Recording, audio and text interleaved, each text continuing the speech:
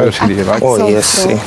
Ma, pa, kan ek julle asseblief iets vra? Nee, ek sal, ek sal. Wat 'n gekonkurreer is die? Wat gaan nie aan? Maar ek wil net weet of ek vir Viper kan uitvat na jou toe. Jy wil jy wil wat? Johan, Ek wil net op 'n date. wat wil julle doen, nee? Ons wil net ietsie gaan eet by die restaurant dan nie. Ek sal dit teen 10 terug hê. Mamma, wat dink jy? Nee, dis reg met my, maar Megan, jy vat jou foon saam. Ja, ma. En Liam, julle is 10 uur terug, nê? Nee. Tannie, ek gee vir julle my nommer. Ek sal dit teen 10 terug hê. Dis waar ek gewoonlik julle lefiete vir julle voorlees.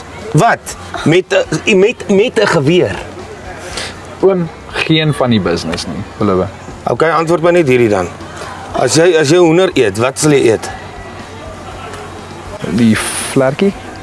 Ja, mooi so. Sy gesê het boutjie of bors. Was hier groot nonsens hier. Okay, Johan, ophou nou met die vrae. Liam, ons sien julle later. Kom van. Dankie tannie. Okay, bye. Hey, watch it. Ek sien jou later. Reg oom.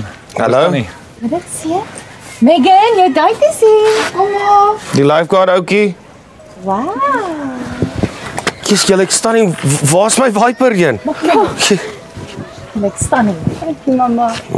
Yes, jy lyk lekker. Hey, Ek bedoel, uh, was omrowend. Jesus, dis 'n groot woord vir so maar mannetjie. Johan, stop dit nou, dis haar aand. Viper, jy jy lyk jy lyk Pa, regtig asseblief noem my eerder Megan.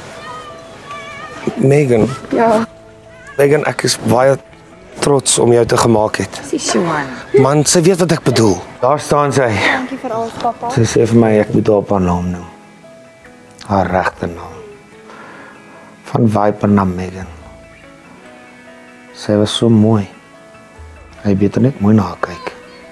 Ek weet oom. Beter. Die Viper of, ons Megan daar uitkom vanaand. Wow. Stunning verby. Kyk, ek weet die oom het my moeilikheid gegee, maar uh, om eerlik te wees, dit maak nie nou saak nie. Sal sy oukei wees? Sy word groot, Johan. Ons moet haar kans gee. Ek wil nie. Nee pa, sy naam is Liam. Hey, shut up. Shame, Liam het baie guts gehad eintlik om om vir Johan te kom vra. Maar ek moet sê toe my kind daar uitkom, ek kon nie glo dis sy nie. Dis vir my so amazing dat sy self haar vroulikheid ontdek het. Kat kat kat.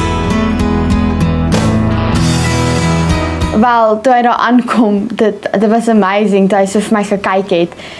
En ons het later gestap, toe vat hy my hand en ek het geweet hy's myne.